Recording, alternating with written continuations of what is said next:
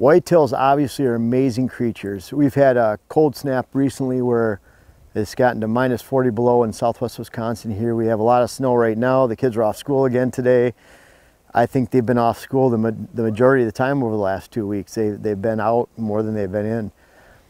And you look at whitetails and you wonder, how can they even survive? And, you know, and again, we're in southwest Wisconsin here, and you go over into Iowa, Missouri, Minnesota, Illinois, Indiana.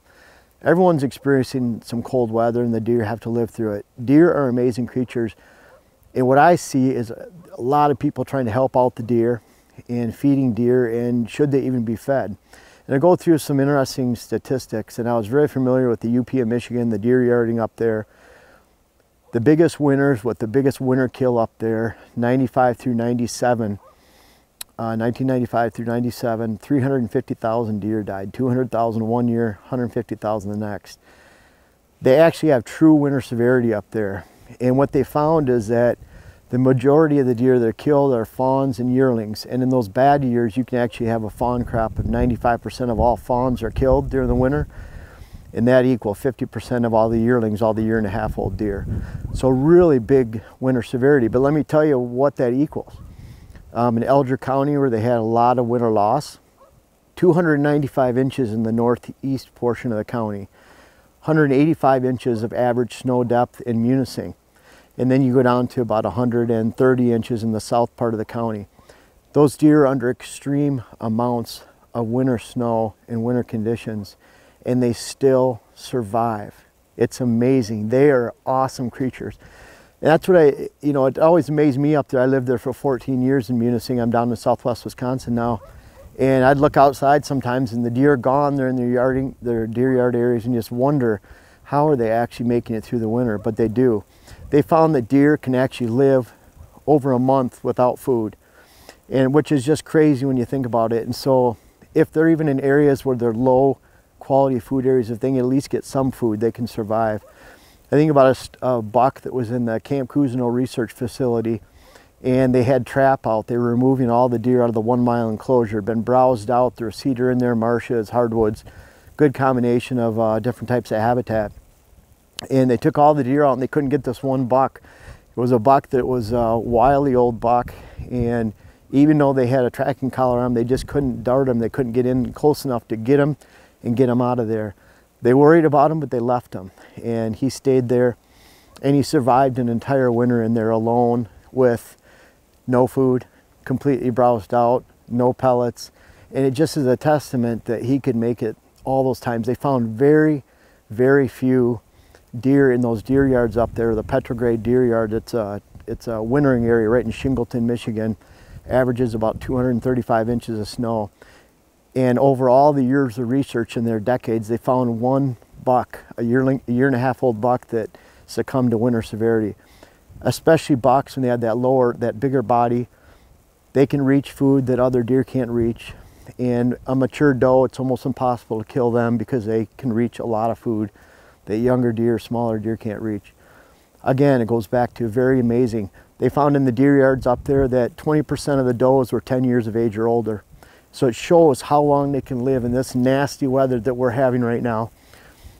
What I found up there and what I've experienced with several deer research biologists and talking to them is that unless it really truly means the survival of the deer herd, and I'll give you an example, the Keweenaw Peninsula up in the UP of Michigan, there's areas up in the yarding areas there where there's zero food, and if they didn't supplementally feed, they literally would not have a deer, for, deer uh, herd in that area meaning they would go away. That is not the case here.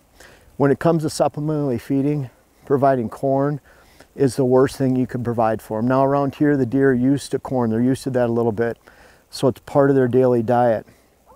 The problem is with corn, when you introduce corn to deer that have been feeding on woody browse, it can form a toxicity in their system and actually kill them and kill them within days and then actually can kill them within weeks. They can succumb to conditions where they're lethargic and listless they even list depression. You can look all this stuff up online about feeding corn to deer, but it can actually kill them. And so well-meaning people, they have conditions like this that are actually unusual for this area in southwest Wisconsin, and they're helping deer throwing out corn. And if they're used to the cornfields, they're used to picking through, then it's going to be okay with them. But it takes two to four weeks for those deer to get used to a new food source that's the opposite of what they've been having. I mean, heck, it's hard for us to digest corn, but they can't get used to that food source within a two to four day blizzard when people are throwing that corn out, so it literally can kill them.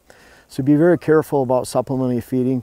Keep in mind that there are deer that are living in incredibly harsh conditions where it's even hard to imagine.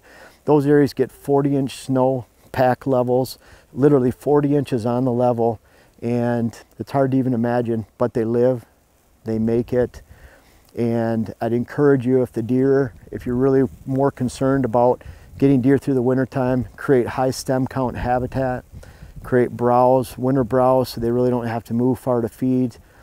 Try not to concentrate deer on feed piles that ultimately attract predators too and make basically feeding piles for the predators too. There's, I've seen that time and time again where there's high predation on bait piles during the winter, winter for meaning, well-meaning people communicable diseases where they're spreading diseases by close uh, contact over bait piles during the winter that can really be a danger to them too. So if you really want to help the deer during the winter avoid adding corn to their diet unless it's already part of their diet and make sure that you're really working on the winter habitat.